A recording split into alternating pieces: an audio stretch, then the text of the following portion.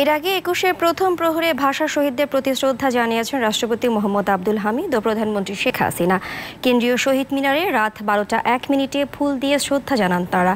শ্রদ্ধা জানান রাষ্ট্রের গুরুত্বপূর্ণ অন্যান্য ব্যক্তি এবং বিদেশি কূটনীতিকরা।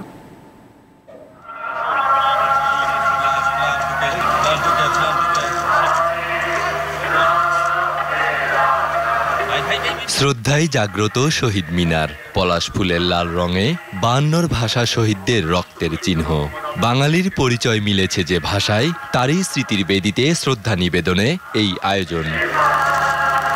কেন্দ্রীয় শহীদ মিনারে একুশের প্রথম প্রহরে শ্রদ্ধা জানান রাষ্ট্রপতি মোহাম্মদ আব্দুল হামিদ। এর পরপরই ভাষা শহীদদের প্রতি শ্রদ্ধা নিবেদন করেন প্রধানমন্ত্রী শেখ হাসিনা।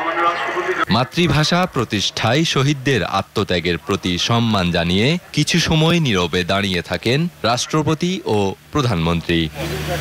এরপর পরই জাতীয় সংসদের স্পিকার, ডেপুটি স্পিকার ও রাষ্ট্রের গুরুত্বপূর্ণ ব্যক্তিসহ বিদেশি কূটনীতিকরা শ্রদ্ধা নিবেদন করেন শহীদ মিনারে। কেন্দ্রীয় নেতাদের সঙ্গে নিয়ে আওয়ামী লীগ সভাপতি শেখ হাসিনা স্মরণ করেন ভাষা শহীদদের। ভাষা শহীদদের প্রতি ফুল দিয়ে শ্রদ্ধা জানান জাতীয় সংসদের বিরোধী দলীয় নেত্রী রওশন এরশাদ। একুশ আমার চেতনা একুশ আমার অহংকার।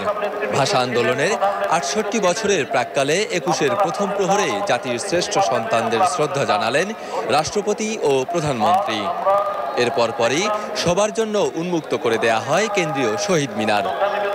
মুজিব জন্ম শতবার্ষিকীর এই বছরে জাতির শ্রেষ্ঠ সন্তানদের লালায়িত স্বপ্ন, বাংলা ভাষা সকল ক্ষেত্রে কার্যকর হবে, এমন প্রত্যাশাই ছিল শ্রদ্ধা জানাতে আসা আপামর জনতার।